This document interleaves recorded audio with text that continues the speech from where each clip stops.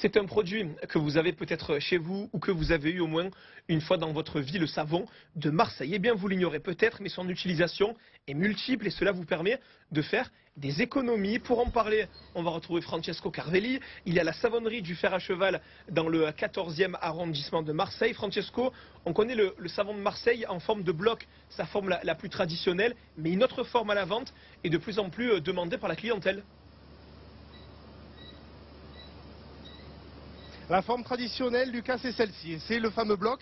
Là, on est en bout de chaîne de production, justement. Il va être estampillé le fer à cheval. Mais nous, ce qui nous intéresse aujourd'hui, c'est tout autre chose. Venez, suivez-moi.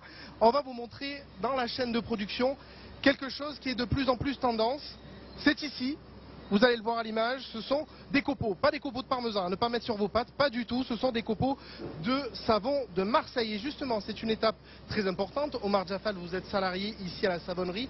Qu'est-ce que ça signifie? Pourquoi aujourd'hui il existe des autres versions du savon de Marseille? C'est plus le bloc, pourquoi? Alors aujourd'hui, il existe des, comment on va dire ça, des savonneries euh, de Marseille, mais celle-là c'est le plus ancienne. C'est le plus ancienne qui fabrique le savon de Marseille.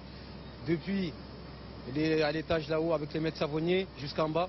Après, puis il est transformé dans l'atomiseur qu'on voit là-bas au loin.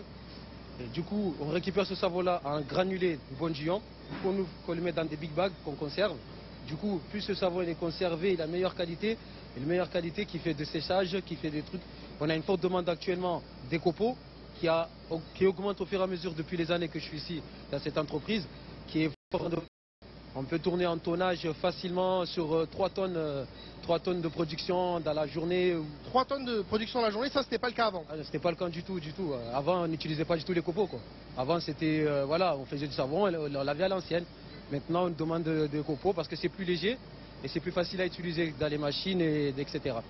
Mais justement, Omar, il vient de le préciser, ça nous permet par exemple de faire des produits ménagers chez soi, comme la lessive, du liquide vaisselle, et ça coûte environ 20-25 euros euh, le kilo, ce qui permet de faire des économies lorsque vous allez produire vous-même votre propre lessive, votre propre liquide vaisselle. Et puis, Omar l'a très justement dit, euh, c'est l'une des plus anciennes usines de savonnerie, et la preuve, c'est qu'il y a eu ce week-end les journées du patrimoine, on pouvait les visiter, donc c'était forcément une visite que l'on aurait pu faire ce week-end, Lucas. Je ne sais pas si vous l'avez faite par exemple.